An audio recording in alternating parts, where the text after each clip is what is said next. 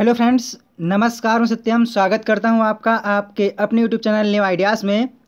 Guys जैसा कि आप जानते हैं कि आज आप लोगों का I T tools and business systems का एग्ज़ाम था और मैंने आप लोगों को उसका गेस्ट पेपर और जो आपको क्वेश्चन थे इंपॉर्टेंट पार्ट वन के लिए, मैंने उसका वीडियो आपको बनाया था। सो so गाइस अगर आपने मेरा कल वाला वीडियो देखा होता तो आपको, आप यहाँ पर आराम से दस से बारह क्वेश्चन आप कर पाते, क्योंकि भैया जो मैंने आपको कल वीडियो प्रोवाइड करा था, कुछ इस टाइप से उसका थंबनेल था, इस वीडियो से मैंने आपको बताया था ना कि भैया क्वेश्चन बहुत इंपॉर्टेंट है, आपके एग्ज़ाम में आ सकते हैं तो भैया आपके यहाँ से पंद्रह, कम से कम बारह, पंद्रह क्वेश्चन आपके एग्ज़ाम में पूछे गए हैं, इस वीडियो से अगर आपको विश्वास ना हो तो आप इस वीडियो को प्ले करके चेक कर सकते हैं जो आपके एग्ज़ाम में क्वेश्चन आए हुए हैं, वो इसमें हैं कि नहीं, ठीक है? चलिए, अब बताते हैं, इसको सॉल्व करते हैं, इसका सही आंसर क्या है, बिल्कुल मैं आपको बताऊँगा एग्जैक्ट ठीक है? इसमें कोई भी दुविधा नहीं है हंड्रेड परसेंट सही आंसर मैं आपको बताऊँगा। सो so गाइस आपके यहाँ पहला क्वेश्चन दिया गया है कौन सी दशमलव संख्या one one one zero zero zero one one के बराबर है? कहने का मीन्स ये है भैया आपको इसको बाइनरी संख्या से डेसिमल में चेंज करना है। ध्यान दीजिए, मैंने आपको इस टाइप के कल तीन से चार क्वेश्चन कराए थे तो ये उसी टाइप का है। तो बिल्कुल ईजी है, जब इसको आप सॉल्व करेंगे तो आपको कुछ इस टाइप से आएगा। One one one one zero zero zero one one इसका आपका आ जाएगा one one two four eight sixteen, thirty two, sixty four, one twenty eight. जब आप इनको ऐड करेंगे इस वाले को, इस वाले को, इस वाले को, इस वाले को, इस वाले के तो आपका आएगा टू टू सेवन। यानी जो आपका पहला वाला है, इसमें आपका आ जाएगा टू टू सेवन। यानी कि option A is the correct for first question, ठीक है? नेक्स्ट, देखिए, ये क्वेश्चन मैंने आपको कल ही कराया था कि भैया क्वेश्चन इंपॉर्टेंट है कि जो आपकी प्राइमरी की होती है, उसकी वैल्यू क्या नहीं हो सकती है? मैंने आपको कल ही बताया था। तो इसमें एक आंसर आ जाएगा के नॉट बी नल यानी कि ऑप्शन नंबर ए ठीक है नेक्स्ट आपको बताना है कि लिनक्स क्या भैया? ये क्वेश्चन मैंने आपको कल ही कराया था, ध्यान दीजिए आप। अगर आपको विश्वास ना हो रहा हो तो आप वीडियो को ओपन करके वहाँ से चेक कर सकते हैं। तो इसमें क्या जाएगा? Option number C N operating system question number चार एम आई एस का पूर्ण रूप क्या है भैया? ये क्वेश्चन मैंने आपको कल ही कराया था। तो इसमें क्या रहेगा option number C management information system ठीक है नेक्स्ट 1.5 आमतौर पर सबसे अधिक प्रयोग किया जाने वाला ब्राउज़र कौन सा है? बताइए भैया। इंटरनेट एक्सप्लोरर और नेट स्कैप भैया, ये दोनों ही जो आपके हैं ब्राउज़र, ये सबसे ज़्यादा यूज़ किए जाते हैं जो आपका ये क्वेश्चन है, ये आपका इंटरनेट से संबंधित है तो इसमें क्या आ जाएगा? ऑप्शन नंबर सी, ए और बी दोनों। ठीक है, अब देखते हैं नेक्स्ट। तो आपको यहाँ पर नेक्स्ट क्वेश्चन दिया गया है कुछ इस टाइप से भैया आपको बताना है कि जो आपकी मेमोरी का उपयोग, यानी कि memory is used to store BIOS on motherboard भैया, ये क्वेश्चन भी मैंने आपको कल ही कराया था, आप देखें वीडियो में आके। इसमें आंसर क्या जाएगा ऑप्शन नंबर ए रोम यानी कि read only memory next S Q L का पूर्ण रूप क्या भैया? ये क्वेश्चन मैंने आपको कल ही कराया था। तो एस क्यू एल का क्या होता है? स्ट्रक्चर्ड क्वेरी लैंग्वेज यानी कि option number B is the correct next आपको बताना है कि which of the following is a communication device यानी कि ऐसी ऐसी कौन सी डिवाइस है जिसकी सहायता से हम लोग कम्युनिकेशन कर सकते हैं? तो बिल्कुल सही जो आपका होता है मॉडम यानी कि मॉडुलेटर और डीमॉडुलेटर इसका आंसर हो जाएगा। Option number D is the correct next आपको बताना है यहाँ पर कि using Microsoft words find and replace feature you can हम लोग फाइंड और रिप्लेस की सहायता से क्या कर सकते हैं, बताइए? तो बिल्कुल सही है जो आपका होता है ना टेक्स्ट और फॉर्मेटिंग इन दोनों को ही रिप्लेस कर सकते हैं फाइंड और रिप्लेस की सहायता से। तो जिसका करेक्ट आंसर होगा, वो आपका हो जाएगा option number A replace both text and formatting ठीक है? नेक्स्ट वन पॉइंट टेन आपको बताना है, बिल्कुल सिंपल सा क्वेश्चन है कि जो नंबर्स होते हैं सिक्सटीन उसको क्या बोलते हैं? तो बिल्कुल सही है, जिसका बेस सिक्सटीन होता है, उसको हम बोलते हैं हेक्सा डेसिमल नंबर सिस्टम तो इसमें क्या रहेगा? ऑप्शन नंबर बी आपको बताना है कि आपके दस में से कितने सही निकले हैं। जिसने मेरा वीडियो कल वाला देखा होगा तो उसकी नहीं आराम से पार लग जाएगी, क्योंकि भैया उससे दस बारह क्वेश्चन आपके एग्ज़ाम में आए हुए हैं। ठीक है? अब बारी आपके ट्रू फॉल्स की चेक कर लेते हैं एक बार। तो आपके यहाँ पर पहला क्वेश्चन दिया गया है कि Unix is free reliable alternative to Windows XP बताइए। तो बिल्कुल गलत है भैया। जो आपका यूनिक्स है, इसको हम लोग विंडो एक्सपी से तुलना नहीं कर सकते हैं तो क्या हो जाएगा? ये आपका फॉल्स हो जाएगा, ठीक है? Next Windows clipboard can hold multiple piece of information at the same point of time तो बिल्कुल गलत है भैया, क्योंकि वो एक टाइम पर एक ही कंटेंट को स्टोर कर सकता है तो क्या हो जाएगा? ये भी आपका फॉल्स हो जाएगा, ठीक है? ठीक है? By default the numbers are left aligned and test is right aligned in spreadsheet आपको बताना है कि जो आपकी एक्सेल होती है, उसमें जब आप कोई नंबर लिखते हैं तो क्या वो लेफ़्ट साइड में आता है? और जब कोई टेस्ट लिखते हैं तो क्या वो राइट साइड में आता है? तो बिल्कुल गलत दिया गया है। क्यों? क्योंकि जो आपके नंबर्स होते हैं, वो आपके राइट साइड में आते हैं, और जो आपका टेस्ट होता है, वो आपका लेफ़्ट साइड में आता है। तो क्या हो जाएगा? ये भी आपका फॉल्स हो जाएगा। ठीक है? Next a browser is a software program use for viewing web pages on the internet तो बिल्कुल सही है। आप ब्राउज़र की सहायता से ही किसी भी वेब पेज को देख सकते हैं। तो क्या हो जाएगा? ये आपका ट्रू हो जाएगा। नेक्स्ट वर्ड फ़ाइल के not be protected by password तो सरासर गलत है। क्यों गलत है भैया? आप M S Word M S Office इनमें क्या कर सकते हैं? पासवर्ड लगा सकते हैं। तो ये क्या हो जाएगा? ये आपका फॉल्स हो जाएगा।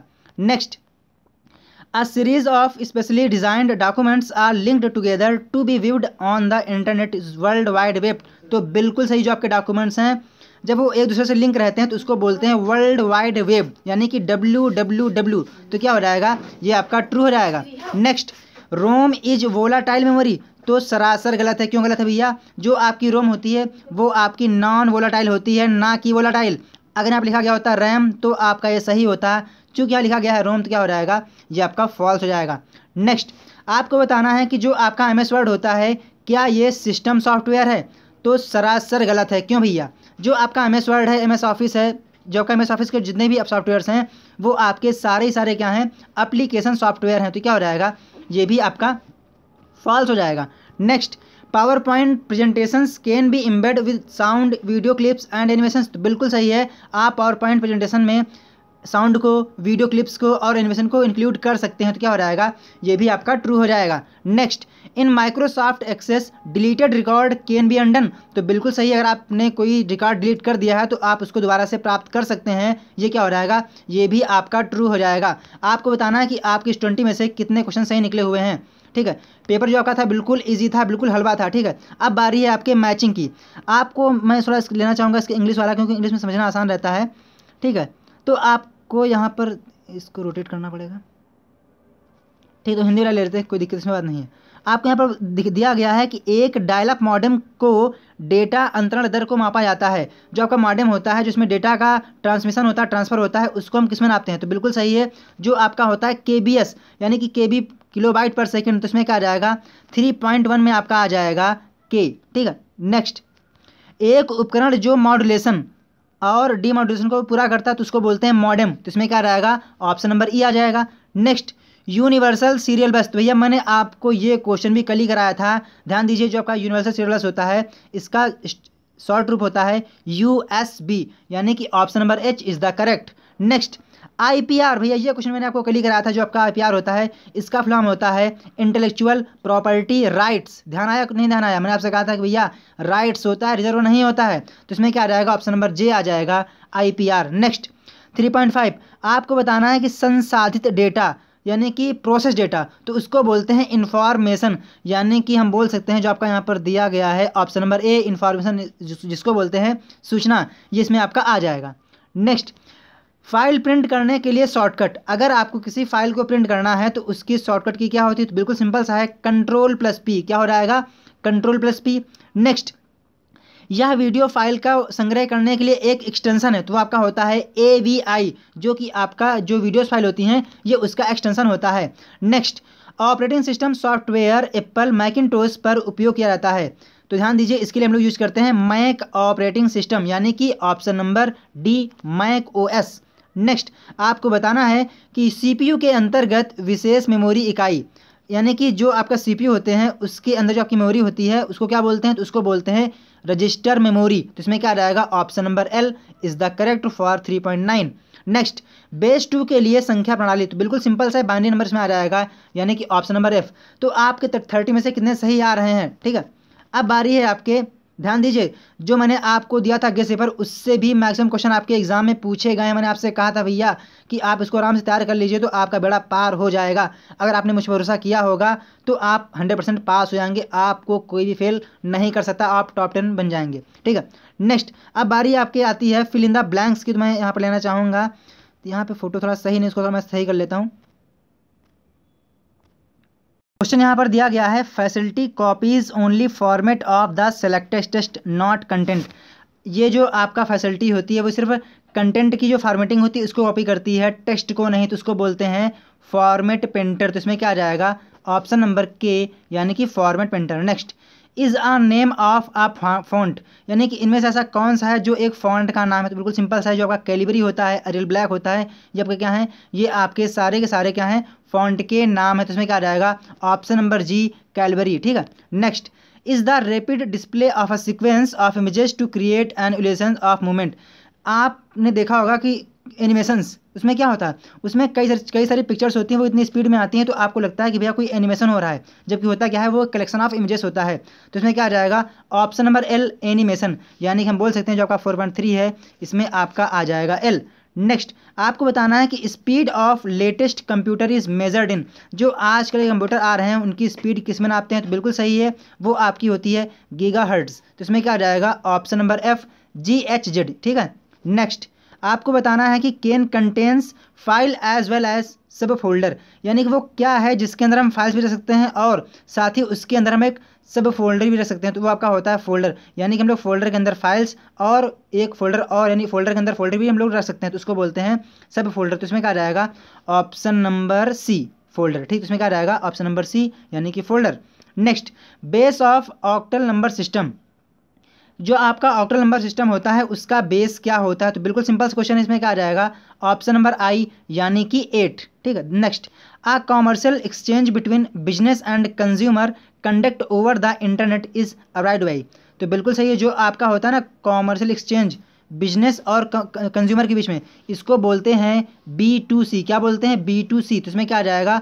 ऑप्शन नंबर बी इसमें क्या आ जाएगा? ऑप्शन नंबर बी आ जाएगा B to C next operating system is a software. जो आपका ऑपरेटिंग सिस्टम होता है, वो कैसा सॉफ्टवेयर है? तो बिल्कुल सिंपल सा ही आपका क्या होता है? सिस्टम सॉफ्टवेयर होता है। तो उसमें क्या जाएगा? ऑप्शन नंबर एम आ जाएगा, ठीक है? Next, is a type of network topology. तो ध्यान दीजिए जो जब आपका क्वेश्चन आया है, ये आपके क्वेश्चन है इंटरनेट से संबंधित। तो इसमें क्या हो जाएगा? इसमें आपका आना चाहिए स्टार। इसमें दिया गया ना स्टार। तो इसमें क्या आ जाएगा? स्टार आ जाएगा। यानी कि जो आपकी स्टार है, वो एक बार से आपकी टोपोलॉजी है, ठीक? तो इसमें क्या आ जाएगा?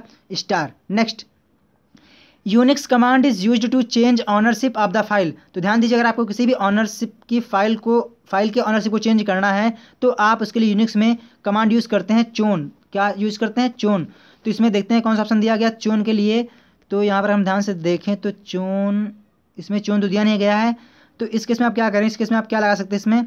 इसमें आप लगा सकते हैं एग्ज़ाम्पल के लिए, अगर आपने नहीं लगाया होगा तो इसमें आप लगा सकते हैं option E M to M यानी कि मशीन टू मशीन आप इसी इसी को दीजिए प्रेफरेंस क्योंकि यहाँ पर ऑप्शन दिया ही नहीं गया है चोन। जबकि जो आपका चोन होता है, एक कमांड होती है यूनिक्स में, जिसकी सहायता से हम फ़ाइल की ऑनरशिप को चेंज कर सकते हैं तो इसमें क्या आ जाएगा? चोन आना चाहिए, चूँकि यहाँ पर ऑप्शन नहीं दिया गया है तो इस केस में आप यहाँ पर अपने मन से कोई भी ऑप्शन लगा सकते हैं, ठीक है?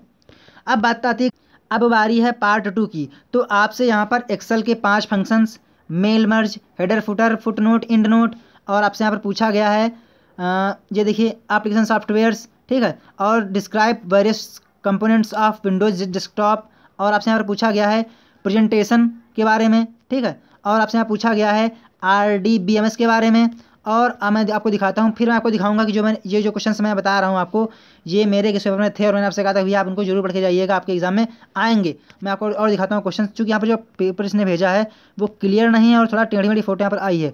तो आप यहाँ देखें, यहाँ पर आपको दिया गया है, आपको बताना है कि जो आपका होता है इन्फॉर्मेशन टेक्नोलॉजी उसमें शिक्षा का क्या योगदान है, ठीक है?